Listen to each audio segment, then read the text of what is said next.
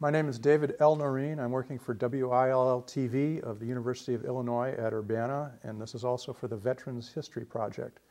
We're in Hoopeston, Illinois at the Hoopeston Public Library. Today is November 8th, 2007. I'll be talking to Edward J. Layden of Hoopeston, Illinois about his experiences on the home front during World War II.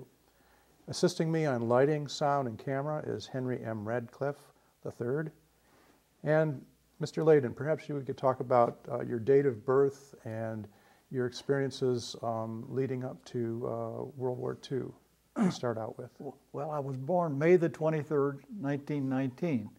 Uh, went to a one room grade school out in the country for eighth grade, Goldsboro School. Uh, went, went to John Greer High School in Hoopeston. After high school, I went to no University of Notre Dame for one year but they got me mixed up with pre-med students and I didn't get along so well. So then I went to uh, University of Wisconsin for a farm short course for two winters. Uh, then come back from, from that and uh, kind of started farming with my dad. Then I was drafted into the Army in, I think it was April the 24th, 1941. I had a shoulder that I had hurt several times playing football, and then some other times too. Uh, and after I was in the army, a short time, they it jumped out, come out of place, and they, they doctors would put it back and say, "Hey, you shouldn't be here," you know.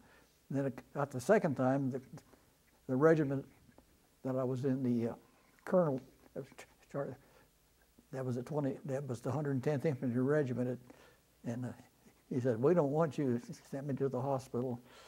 I told them up there they either operate on that guy and make him 100% fit or send him home. They gave me that choice, so I come home. At this time, the war hadn't started yet, right? This was still That's right. before this, the war. Yeah, I was discharged on the first day of November, and the war started May the 7th. And I went back to the draft board right afterwards, and they said they'd had notice from December 7th. December the 7th. Yeah this colonel had sent them a letter that not to send me back to the army. I don't. That's what the, the, man, Charlie Dyer, who ran the draft board, he told me that one time. I suppose he did. I don't know. But, uh, so I was classified 4F from then on. And so then you came back to Hoopeston uh, right. and worked on your family's farm? Oh, yeah. That's where I intended to spend my life anyway. You know, uh, I, uh, grandfather come around Hoopeston in 1877, and then we lived out in that same community. In fact, I have a, a son who lives on the same farm now today. Out there. And, and so uh, there was, uh, after the war started, at some point there was a prisoner of war camp established here in Hoopeston. Well, it, it really wasn't an established camp here. They were stationed someplace else, but they were moved here in 1944, uh, had, used to have 3,000 acres of asparagus to cut too, and that was a big project. In fact, my wife said she went to high school in Rossville. They used to let the high school kids out of school if they go cut asparagus in the afternoon. and, and uh, this was partly because there were big canning factories uh, at that time. Yes, there was there, there was two in Hoopeston, and one in Rossville, one in Milford, one in Fowler, one in Paxton, one in Gibson City, and I think maybe these prisoners of war went to several of those camps, but they all lived here in Hoopeston during during the canning season. And where was the prisoner of war camp? How how was that set up? Well, it had been the it was on the what we call the farm headquarters, and back uh, in the earlier days, you know, they'd have 500 mules doing the farm work, and so they had big barns and uh, some of them are still standing, and they just clean them up and rearrange things because the people would come in the middle of April, it wouldn't need much heat, and then they'd leave. Uh, well, by that time they were canning some tomatoes too, so they'd leave a few maybe to pick tomatoes, but they'd they'd all be gone by the for the 15th of October. It would just be summertime help really, so they wouldn't need much help. And I don't know how many prisoners were around here. There, there were lots of them, for sure. And they, they even worked in the factories too, some of them, because mm-hmm. they'd march them up the street. So are you saying that the prisoners were only here for part of the year, or it was the, the workers that, before the, the war that were just here? For- just- be the prisoners was here during, uh, well, about the middle of April until, till the middle of uh, October. And- And I assume maybe they, they would transfer these people back and forth to their main camp, may- maybe ship some of them other places. I, I don't- really don't remember that much about it. And so as it pertains to your family, uh, you, your family would have a truck and they would make arrangements to go and pick up a certain number of prisoners Right. each day to help out? Yeah, you, you knew that, you know, the day before what you were going to get. A- And the rule was that uh, you get 20 prisoners and one guard. So, so we had a, what we called a farm truck, which was with just a, a, grain truck with a, about a eight by 12 bed on it. And They'd crawl in, you know, and, uh, and uh, they, they soon figured out where they were going by who the driver was. You know, one of the things I remember about them real distinct is when you you pull out on Route 9 and you turn the wrong direction, they no, no, no, go to Chicago, go to Chicago. They, they learned how to say that. So they would joke around with, with oh you quite gosh, a bit? oh gosh, yeah, they they were, yeah. And so uh, you would pick these prisoners up uh, very early in the morning uh, to Yeah. work a full day's work, and then Well, they wouldn't. No, you never work. You didn't work a full day. You'd usually be. You'd always be through filling filling the wagons up by, by noon, because the canning factory had to have corn to start, and then they, they had enough wagons that they could fill them up. Uh, uh, sweet corn, you had to almost pick it when it was when it was a little bit wet. After the after the corn would get dry, then it was hard to pick that that, that ear off the stalk. It got hard, difficult. So you usually were wanted to be through. By, well, you like to be through by ten o'clock, but most of the time you'd be through by twelve, and and that's when uh, all- all the women, you know, they'd uh, fix lunch and stuff for them, you know, and and what would the lunch be?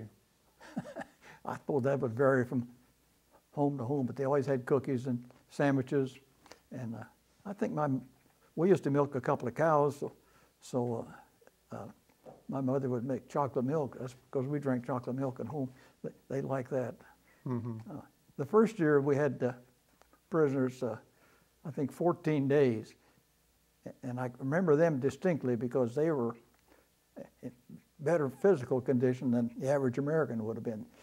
Found out later that they, were part of a Rommel's army. They had been captured in Africa, and these boys were all about five foot nine or ten, up to about six foot two or three, you know, very nearly the same age, uh, all in good, perfect physical condition, and knew knew how to work. The thing I always remember about them, when uh, the average American would jerk corn, well, actually you jerk corn, uh, you jerk with both hands, and some people would jerk two ears off and throw. Most people would jerk four ears off, and because you get them between your fingers if you're strong enough. Once in a while, you'd find some that could get three in each hand, six. And sometime when you had six, if you throw, maybe one of them would, wouldn't get in the wagon. Well, well, the average American would forget about that one. These Germans, if- if one didn't hit the wagon, they wouldn't picked it up. They didn't leave anything in the field. I remember that very distinctly. Okay, and so did the prisoners have a, a second shift then, that after they were done in the fields, they would go to the canning no. factory, or they would just return to the camp? Now, th- the ones that worked in the factory, I don't know how they, because see, sometimes that factory would work all night. Uh, Not, usually would work, uh, always would work two sh- shifts, you know, they, they start, usually start about, uh, well, I think they used to always work uh, 15 minutes before they are, they started, you know, at quarter to seven, then they'd go off quarter to 12, and then come back at quarter to one, they, then start another shift. Maybe it, maybe they start that about four o'clock, and then they- they'd run till eight, nine, 10, 11 o'clock. Whatever was harvested in the day had to be canned that night, or they took it to the cattle pen and dumped the corn because uh, it wouldn't fit the can the next day. Okay. So you did this over a period of time. There would be different areas of the field that you would successfully Well, move through each we would kind of plant the corn sci- scientifically because we knew it take, took take about so many days for the corn to mature. So we would plant sweet corn maybe a couple of days, and and we partnered up with, with a cousin of, of ours uh, whose father had died, and he farmed out in the community too. And in fact, he was one of the factory workers uh, during the during the pack. They had to have a lot of help to make sure that the corn was on the way, but nothing got them more excited around the canning factory to have a bunch of people come to work and then two hours later run out of corn. You know, they, that, that just, uh, you know, you, that, that was, uh, that, that was a rather exciting time. If, if you weren't going, if, if there wasn't any corn on the way, to be there in 15, 20 minutes, why they'd, they'd ignore it. But then if it's going to be too long, they'd send them home and then bring them back an hour later. What they would. But, uh, but, but yeah, but we had uh, prisoners the first year.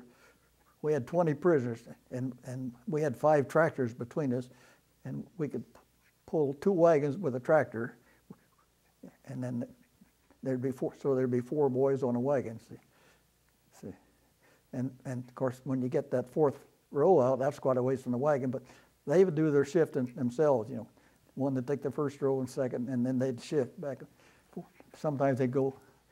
Uh, it all depends how long the rows are. Uh, corn rows are a lot different lengths than you know, than uh, people in town realize. There's quarter mile rows, and there's half mile rows, and there's three quarter mile rows, and there's some that would be only an eighth of a mile. See, but uh, but most of them were, were 80 rod or 160 rod, quarter or half, a half mile or or quarter mile. Now, at this time, uh, labor was pretty scarce, so having the prisoners was really Yeah. quite a blessing then. 1943, we didn't have any help, you know, and we like to never got it harvested. In fact, there was some of it that didn't get harvested. It was just, you know, just too much labor, and it's and it's hard to tell until you get into the crop how good the crop is. You know, it would make it would vary from yield to yield, year to year, uh, from well, back in that, those days, if we had three ton corn, that was pretty good.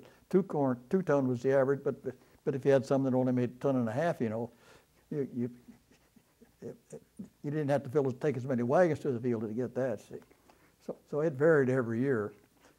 And, So now, when they would uh, pick the corn, they wouldn't bother to husk it, right? That would be do, Oh, done. no, you- no, that you would be done at the factory. yeah, that. So they're they- just they pulling the what they call cobs. jerk, jerk. Right. You jerk it off the stalk. Yeah. hmm That's what we'll call it. Jerks. You jerk sweet corn, you husk field corn. hmm Okay.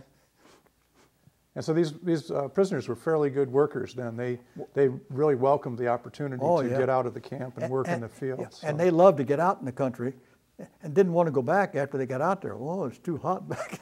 They'd like to sit, lay out in your yard all, all afternoon if you, you let them, you know.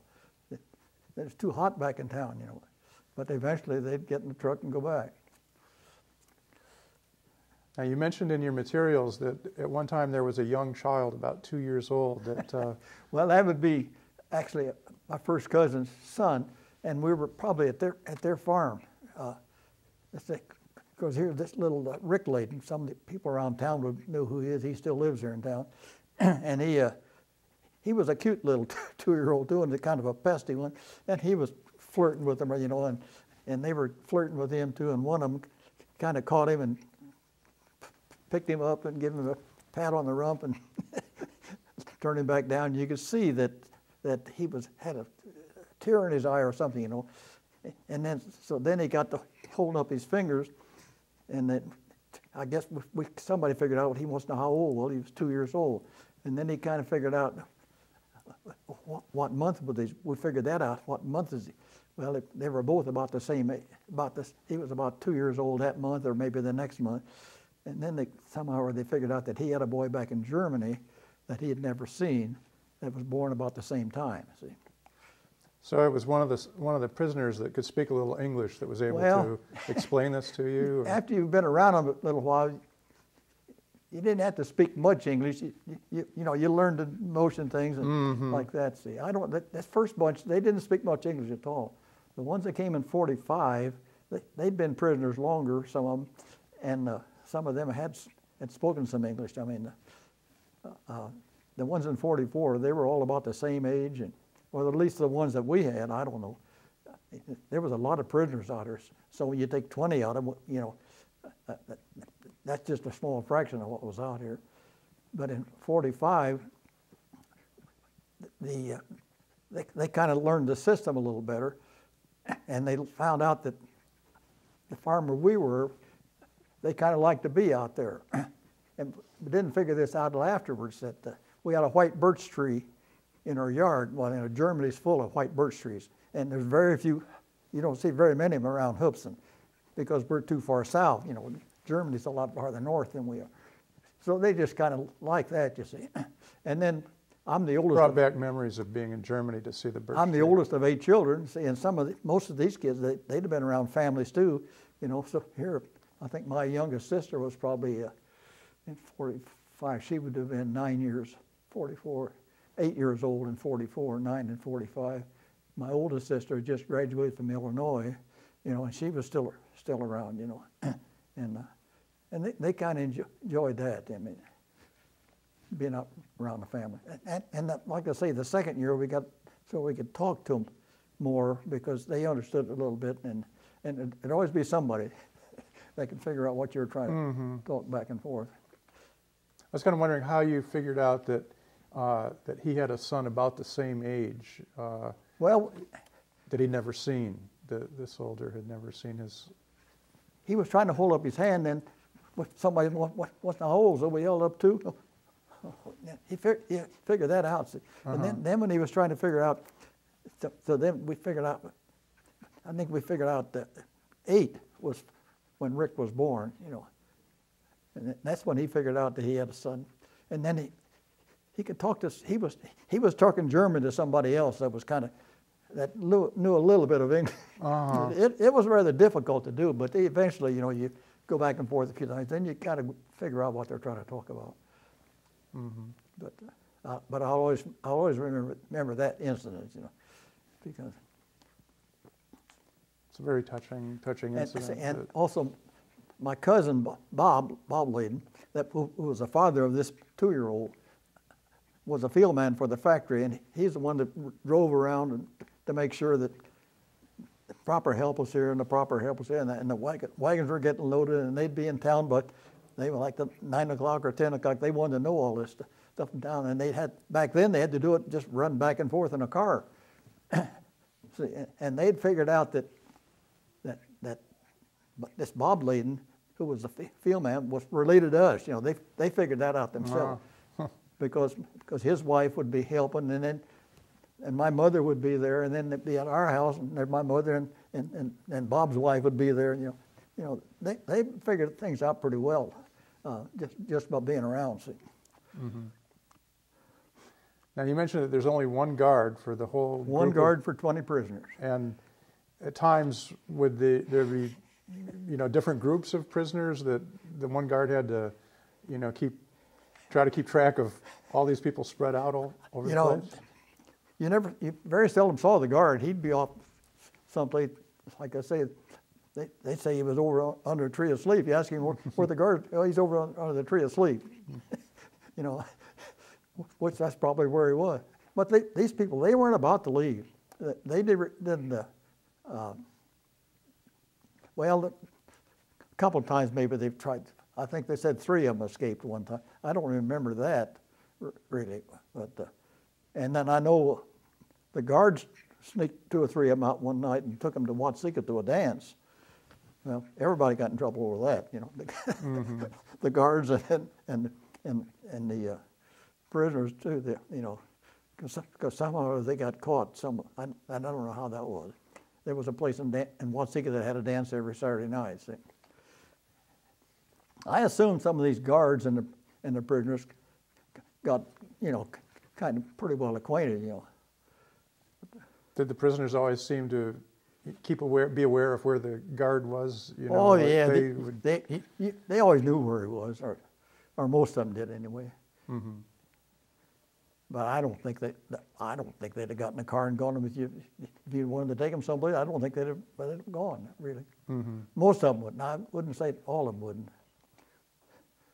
One of the, one of the things I remember, they always wanted, when they got to the second, this has happened more the second year, when they'd be, uh, when there was people in there that could speak a little English, they always want to know how, how far to Texas? That, that was one of the, how far to Texas? Well, we'd try to explain to them a thousand miles, and they said, thousand miles? You know, being in Europe, thousand miles in Europe is over th- three or four countries. Right. and finally, then, then, then how big is Texas? Well, Texas is bigger than what it is from here to Texas. And see, they can't quite understand that. So one day I just went in and found, found a map of the United States and took it out and was showing them. Boy, they all wanted to see that. And then they, they were astonished that everything was so big and so far away. you know, and, and I found out afterwards that I wasn't supposed to do that. You know, that was against the rules. This makes it So sound like you're helping them escape So, almost. so I kind of got a, ch- a chewing out for that. But, Right. Uh, no, they didn't say too much, but they said, don't be doing that, you know. That's against the rules. But the second year, I had these same four boys for 19 of the 20 days. And three of them were, were real young kids. You know, you know, they couldn't have been 16, 17 years old. I suppose they've been drafted late. and they had raised on farms in, in, in uh, Germany. But in Germany, they were all, what, 20 acre farms and they milked five cows or six cows. yeah, you know, they didn't understand big fields like we had here and, and big equipment. I, I took them out to a machine shop and was showing them our corn planter and their cultivator and they just, you know, they just shake their head. You know, they couldn't believe that we, see, and even that equipment is, is, is today is so obsolete, we, wouldn't even bother to take it home for it. But uh, they, they were really inquisitive about the things that went on. So, so you mentioned that a lot of times it's probably different groups of prisoners that you get, but then sometimes there'll be the same group of prisoners that work on the farm day after day, and Yeah. you kind of get to know them more. The second year, the group that come out the first day, and then there was another group the second day, but the third day it was the group that came out the first day. And from then on, for the tw- we had them 20 days that year. From then on, it was that same group of 20 boys. They figured that out that they like to be out there, or for, and, and also uh, my cousin's farm too went up there. But they liked they liked that white birch tree because that's where they wanted to go sit and rest under the white birch tree. Now, did they have to wear special uh, prisoner of war uniforms, or Yeah, they wore Uh, they wore a special uniform, but I can't remember what I was just wondering if they did, PW something. I I think it had a number on it. PW number. Hmm. Yeah. if they did try to escape, they would probably be recognized very Yeah. easily unless well, they would somehow have, they would have to uh, steal some clothes someplace right. real quick, or they'd be recognized. Yeah. right. But then back then, everybody was washing clothes, hanging them outside in the summertime. So, Mhm. You know, if they were around town, they could. But I, I don't know how they could have got out of Hoopeston very easy, because everybody knew who they were. you see, the camp, if they were out by themselves, they would know something was wrong. Mhm. But I don't think most of them would even want to, would want to escape. You know, they knew they were here and, and what, life wasn't too bad. They, when they worked, they got 80 cents a day to spend for cigarettes and pop and whatever else they, they could get, see. And uh, when they didn't work, they didn't get anything. The farmers, the government charged the farmers the prevailing wage for jerking the corn. See, eh, but and, but they took off, take, care- took care of all that. You didn't handle any money. The government and the canny, canny factory would uh, settle up with them. Mhm. So on, on your farm, besides uh, helping with the corn harvest, did they do other work as well, or? No, that's the only thing they done for us is sweet corn. Mhm. But I knew that I knew a lot of them cut asparagus, uh, and and there was uh, I don't what they done between the asparagus pack and sweet corn. There's always a gap of about six weeks between uh, uh, the end of the asparagus pack and the uh, sweet corn pack. I I don't know what they. I suppose they just lay around camp, or maybe they take them back to to the other where they come from in the first place. Some of them used to stay at Fort Grant, Camp Grant, uh, northern Illinois. And then there was another camp around Peoria, I think. But, but they they really, uh, you know, they saved the crop in 44 and 45. Guys, it was a, it, we went through that harvest easy, you know, from a farmer's standpoint. All we had to do is drive a tractor. Now, was there any competition among different farmers to get the German prisoners work, or did they just bring No. down the number of uh, prisoners that were needed for all the farmers that Well, had a harvest that they wanted? I'm sure there was a lot of negotiating done between the people at the canning factory that were arranging for this and, and the government somewhere. There had to be some mutual agreements as to how many you would need. And, and like I say, I think they went to five or six different places, canning factories, to, to help can corn. So they pretty much knew what they needed. Mhm. Uh, You know, people are in that business could figure that out pretty quick, what they would need.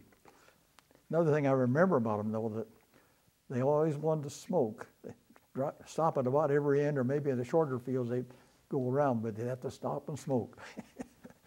I think every one of them smoked. yeah. And see, back in those days, well, I guess maybe I smoked a pipe once in a while back then, but my- my brother Tom, who was home too, uh, he never, he, he always brags about how he quit smoking when he was 14. See. But these, these boys always wanted a cigarette. Now, you mentioned that you also had a, a second story too um, uh, when we were talking on the phone. Oh, well, my father had an older brother who had gone to the University of Illinois and got a law degree and went to Oklahoma to live in 1910. And, uh, uh, and he used to come back every summer because his wife's family was here and, and his parents, my dad's, my grandfather was out. So he'd come up here. But he always take the month of August off from his, from his law practice. And he used to do a lot of traveling. But then during the war, when gas was hard to get, he could, he could get enough gas to get to Hoopeston because he knew my dad would have some extra. He had the coupons, you know, that you could hand, hand out. Gasoline rationing coupons. yeah, you, And you didn't because of to the farm, you would have had. You didn't want to hand out too many because they didn't give you really too much extra, but then they get always managed. They always managed to get farmers enough to do what you had to do, Mm-hmm. and you'd have a sur- few surplus. Uh, anyway, uh, the second year he came, first, first he'd left, you know, and then he come back. And they were still here for a couple of days, and he thought, boy, they're interesting to be around. So the second year he got here before the pack started, and he was out there every day. He stayed with my, my his sister, my aunt, uh, out there every day, and he got to talking to those boys every day, you know. And he found Because some he knew, he knew some German then, so he could. and he speak, he spoke a little bit of German. He'd gone to Greer College uh, here that was here in Hoopeston back in I think I think uh, he probably he was born in '85, so he probably that was probably about two, two, two, or 1905 when he was was going to Greer four and five, I suppose. I don't I don't know exactly when, but anyway, he could speak enough with them, and he found some of those boys that were pretty well informed. You know, he'd like argue with them. They'd they'd there'd be three or four of them in a corner and talk 'em. Well, I finally discovered one boy that was from Frankfurt, Germany. Well, my, my cousin Bill had been with Patton's army, and he'd gone across Germany, you know, just like he says, faster than you could run, uh, and was stationed near Frankfurt. When Uncle John found this guy, found him, then he wrote to, to his son and told him to go into Frankfurt and look up this boy's parents and tell him that, that he, he'd seen his son out on, on his uncle's farm and, and uh, help him with this harvest the crop. And Bill's, he wrote back and said, "Oh, nothing to do with those dirty so-and-sos. This was in August after the war had ended in May. And then a year and a half later, Bill got, I don't know how he got to stay in Germany, but he got charge of a PA, PX over there. So he got to stay in Germany, and he met this German girl, and he married her and brought her home about a year and a half later. And uh, that's, he wouldn't have nothing to do with it. Wouldn't have anything to do with the Germans until he married one, huh? And then she had a younger brother who went to med school and come back, lived in Chicago and practiced medicine in Chicago all his life then, afterward. And she fit in, of course, my family, mostly all Irish, you know, and, and the, you- you don't mix with the Germans too much when you were Irish back, way back then, you know. But uh, she mixed right in, you know. She, I think she had four kids and a lot of them still in Oklahoma, the same place, practicing law. My, my uncle had sons and grandsons, and probably great grandsons, probably probably in that same law firm. We've kind of lost track of them because they've all passed passed on. You see. So what other kinds of conversations did the lawyer have with the, the prisoners? um, Oh, they were talking about things that was would be happening. Now he was better read and listened to the radio more than I did. I mean, I don't know what they were. They were discussing things that. Uh, Political issues of the day and, Oh, and things yeah. about the Oh, war oh, and the yeah. philosophies of the two Yeah. countries. And Yeah. They seem to have, they seem to be having a good time doing it. I mean, they you'd see them throw their hands up. Mhm. Another thing I remember at one time, I don't know how this got started, but somebody started asking them, what, what were you in the army? Well, one of them was this and one of them was this. And you know, they tell you what, what part of the army they were in. And one of them said, secret weapons. And all the, all the PW, oh, secret weapons. was he they- not supposed to say that? Was that No, no, they a- just they, they just they figured out there is no secret weapons uh-huh. anymore. But this boy, he th- and then they, they they were jabbering to him in German, you know, and then they, then they say he hadn't woke up yet. but the, I remember that they just they gave him the, the raspberries because Uh, he was a secret weapon. He wasn't going to tell them what he did. so how, do- how long did the lawyer visit for then? Uh, Well, he when- he was there. They were these boys were there 20 days the second year, and he was here when they got here, and he was still here when they left. oh, okay. So he was out there every day visiting with them. And I don't know how long he'd been here when he discovered this one boy from Frankfurt. I don't know somewhere in through there. When he went back, uh, when he sent the letter back, and then we got word back that I think probably they, the PWs even left probably before we got got word back that uh, that Bill had answered because back then mail didn't doesn't travel like it does today, and uh, but we found out after you know that he was he wasn't going to go see this boy's parents. So did the prisoners ever get, get mail while they were in their uh, prisoner of war camp? Did, did, You know, did it I seem like they were able to keep in touch at all with things back in Germany? Uh, Well, I don't, I don't know whether they did or not. I assume maybe they did. Now, there's one thing that I do remember uh, talking with two or three of these boys that could speak a little bit of English. They were surprised when they landed at New York, and this this was a group from from 45, I think, because the, like I say, the group from 44 they didn't speak a whole lot of English, and they were all this these German been been in Rommel's army, and we communicated a little bit, but not near as much like we did the one in 45. But these, these people that come, come in New York in 45, they were surprised that there was any buildings still standing in New York. They'd been led to believe that New York was pretty much leveled off. So this was, this was propaganda that, uh, Ger- that Germany had been bombing New York Oh, City for quite some time. Oh, yeah, and That yeah, it had yeah. been reduced to rubble. and a lot of these boys had already come to that, well, even in, even the ones in 44 had realized that the war was over as far as they were concerned. They just will quit because they knew they weren't going to win anything. And ac- actually, these boys that were captured in Africa, I don't know where they were before they come to America. I- I guess we never talked about. You know, we didn't talk about things like that you know, uh, that I remember of. All I remember they were they were men. I mean they they they could take care of themselves. And so the prisoners always had the um, impression of being very well fed and very well Oh, taken yeah, care of. yeah. That And I think they got fed pretty well at the camp here. I don't know. Uh, they, they'd always bring a lunch with them, mm -hmm. and I don't remember uh, what they were eating, really.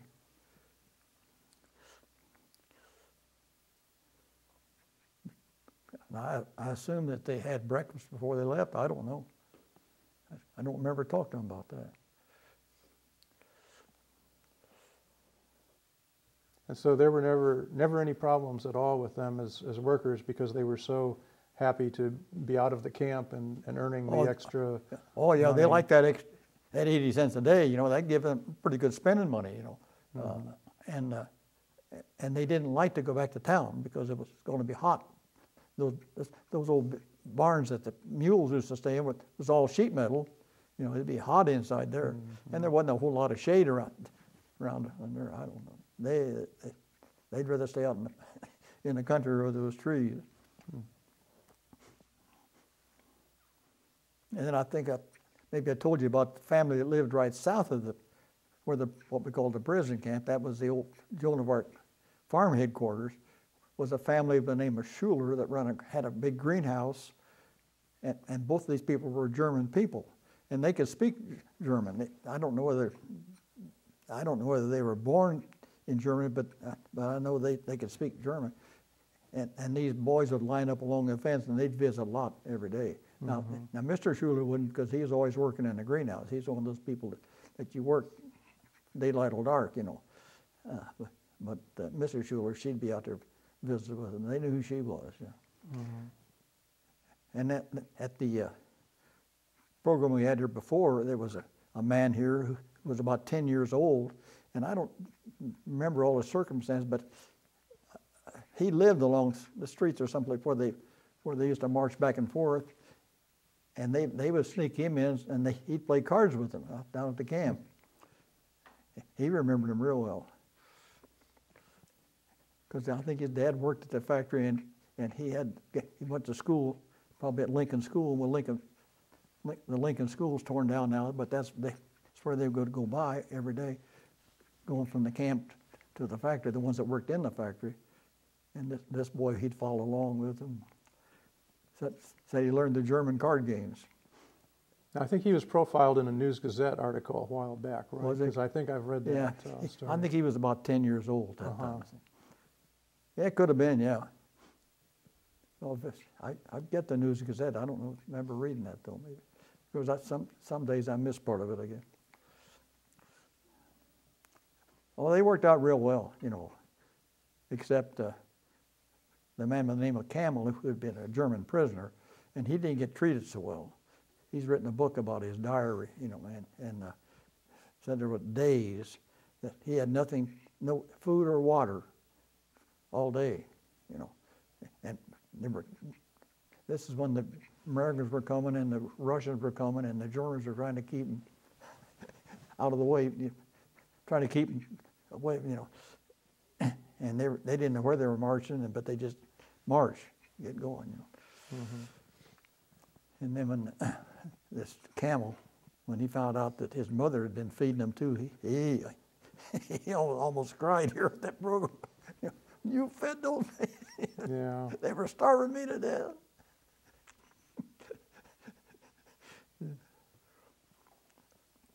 I'm sure if you could interview one of the, some of those boys, they'd say, "Oh, we were they were treated pretty well." hmm But we got our crop harvested too. We were thankful to get our crop harvested. So it worked out very well for all parties, the canning factories, the prisoners, the farmers. In fact, uh, even even the asparagus was probably harder to harvest because it was all hand labor. I don't know if you ever, you've probably ne- never never seen an asparagus field, but no, I don't think so. see, it only gets up about so high when you you have to bend over and you break it off or you cut it with a knife. I mean, they've they've tried to harvest about every way you can, except it's it's it's hard to harvest with a machine. You can you can you can harvest it with a machine, but uh, you can't eliminate the sand. And when, when you harvest it with and get the sand in the in the can, then the people don't like the asparagus. Mm-hmm. So that's why it moved out of this part of the country, different parts of the country where they can harvest with machines, and, and without getting the sand in. I mean, I don't. There, there's a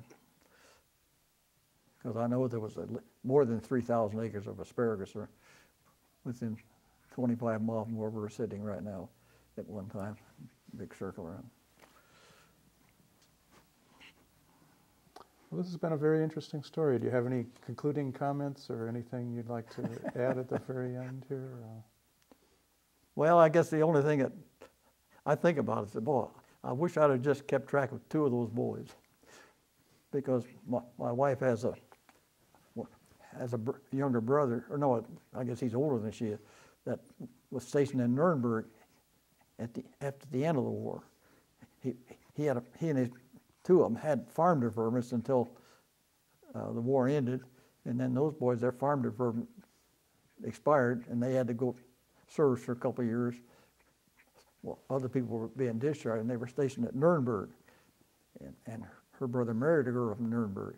And they lived in Rossville, now living back in Nuremberg now. In fact, he was here during the month of, month of uh, September. They come over back every year for the month of September, you know. And, uh, but I wish I could have looked up two of those boys over there, or one of them anyway, guy. Now, I understand there's been two or three of them that have come back, and they always look for a man named Baz Sims. Used to, well, Baz Sims was the field man for the for the canning operations, and he's the one that assigned, you know, 20, 20 in this one, 20 here, and 20 how they, how they went out. But uh, uh, he died years ago, but they were look, always looked for him. They remembered him. Has anyone ever contacted the library here or a Chamber of Commerce? Uh, any Germans uh, asking about this town? You know, that anything like that? Ah. Uh, You know, I really, I don't know. Hmm. I'm sure, I'm sure there's been probably more than that come back. Uh, well, this one lady that lives in Hoopeston now that's kind of looked up the history of the PWs, and I think she works for the News Gazette, now feature stories or something. I have to ask my wife what, what her, what her name is. I don't know. But you know, I always thought it was funny that they didn't look up my brother Tom and I. We were well with them every day. Oh, well, not almost every day, you know. But nobody seemed to pay attention to it. In fact, there's another fellow here in town that's a year older than I, who worked for the canning factory as a field man too, that could probably tell you all kinds of more interesting stories than I could tell you. But he's in the nursing home out here, and I don't think his mind would could help him could help him much. You know, he's a year older than I am, but um, he he'd worked there for. He was a farmer and then worked part time for them. You see, and uh, he could tell you all kinds of interesting stories. And my cousin could have too, but then he died 20 years ago too. You see. well, we're very grateful for your participation. Well, I'm happy to do it. Hopefully, there will be some follow up on this and Okay. have other people get a chance to hear your story as well. Okay. Thank you. And I can move my feet now. you can tap away. I don't think I tapped any, did I? No, I don't think you did.